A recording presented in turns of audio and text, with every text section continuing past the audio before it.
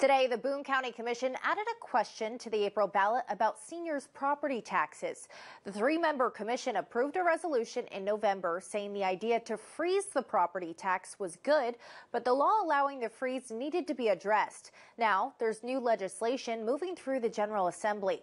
However, State Representative Cheri Reisch called the county's ballot question vague and ambiguous because it exempts certain property tax increases, but not all of them.